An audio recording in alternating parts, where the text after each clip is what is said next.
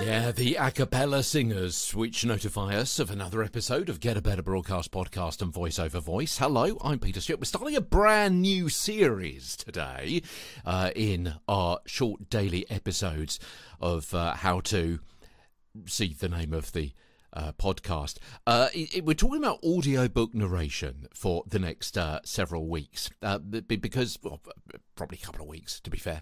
Um, all all about how to how to read out loud when it comes to an audio book. So we're drilling down a little bit more. We've already introduced you to the various skills about projection and pace and tone and uh, and and all of those ideas about conversationality, about reading aloud, about how to get a better voice. And uh, today we're starting, as I say, a brand new series of episodes specifically about audio book narration because it is a specific skill. We've just finished our series, didn't we, on on characters and animation and cartoons and anime and gaming and so on. Now, a completely different set of skills for audiobook narration, which have become increasingly popular of course, as people consume books while commuting or exercising, doing chores, and, and, particularly with the ease of listening via smartphones and Bluetooth. Now, there are broadly two different types of books that we're going to be looking at non fiction and fiction, each with different skills required of the voice actor, also some crossover themes as well.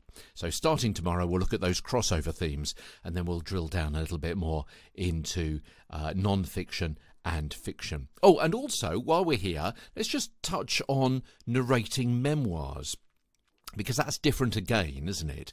Uh, so it's just worth a, a, a, little little sidebar on this because memoirs are not quite fiction or non-fiction, it makes perfect sense for you to narrate your own story of your own life. After all, you're the expert on what happened.